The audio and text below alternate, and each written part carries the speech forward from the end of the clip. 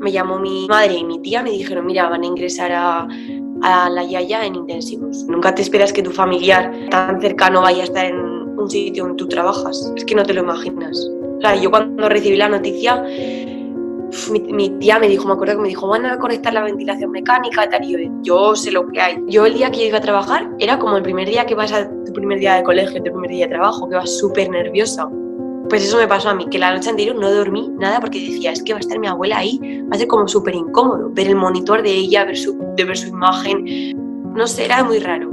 Hay gente que se ríe, pero es verdad que yo, eh, cuando estaba con ella, ella vi, claro, obviamente no me veía porque estaba sedada, pero yo creo que me escuchaba, porque yo se lo cuento a mi familia y es que es verdad.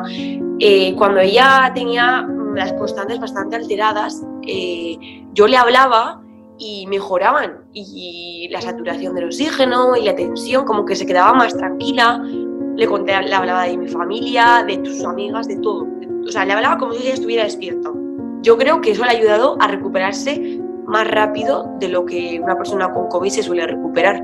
Yo le había puesto en la habitación un montón de carteles que le ponía de colorines, que ponía pues ánimo de tu familia.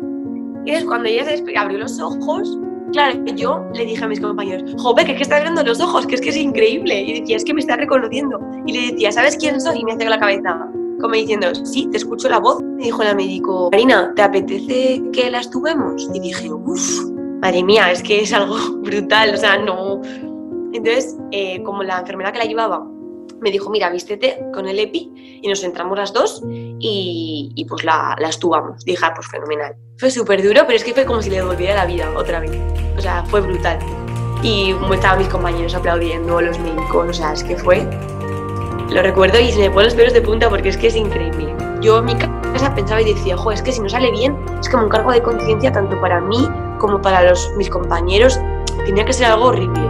Yo creo que ha sido no sé si suerte o, o no sé, nos ha sido increíble.